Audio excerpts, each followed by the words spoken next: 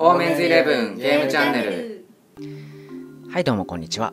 本日はですね0号式短期間銃に関して検証していきます。こちらの銃ですが強すぎると話題になっております。その理由の一つとしてマップに銃声マークが表示されない。本当にそうなのか早速見ていきましょう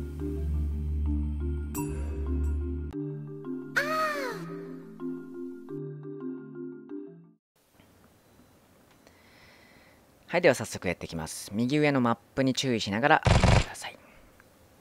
はい。ちょっとアップにしてみますね。はい。このように本当に銃声マークがマップに出ません、えー、では味方にも05式を持たせているのでちょっと打ってもらいます。うん。敵が撃ってるのか味方が撃ってるのか撃たれてみないとわからないという現状であります。試しにちょっと後ろ向いて打ってもらいます、えー、先に打つのが敵の方ですね。敵の05式です。はい。結構音が大きいですね。はい。で続いて味方の05式。若干こもって聞こえますけれどもえー、こちらもちょっと判別はつかないと思います。では続いて銃声音はどれくらいで消えるのかを検証していきます。まずは 50m これはまだ全然音は消えていないですね。続いて 80m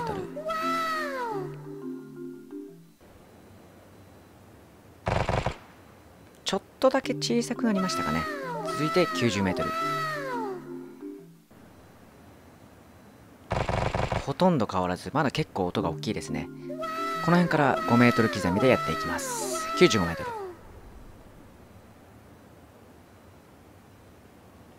お？え？消えましたね。いきなり音が消えましたね。95メートル。90メートルでははっきり音が聞こえていたのですが95だと消えました。そしてちょっと94メートルでやってみますね。このまんま。あ94で出ましたね。もう一度95に戻ってみます。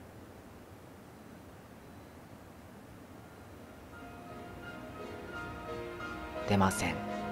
ということは94メートルまで音が出て95メートルで音が消えるということになります。つまり05式の銃声が聞こえた場合マップのこれぐらい圏内に敵がいるということだけは分かります。というかそれしか手がかりがないです。では最後に05式が追加されたアップデによる AR、SR の銃声マークの距離の変化はあるのか検証していきます。2018年3月の検証によると 199m まで銃声マークが出て 200m を超えると銃声マークは消えました。では今回は2018年6月の検証ですね。カーサプなし 200m 音はしますけれども銃声マークは出ない。続いてカーのサプアリはい音は聞こえましたがやはり銃声マークは出ない。続いて 199m カーサプなし。銃声マーク出ましたね右上。そしてカーサプアリこちらもおそらくはい出ますね。えー、続いて AR いきます。95式。サプなしはい、こちらも 200m では、えー、銃声は聞こえますが、銃声マークはなし。おそらく続いても銃声マークは出ないと思います。音は全く聞こえないですね。銃声マークもない。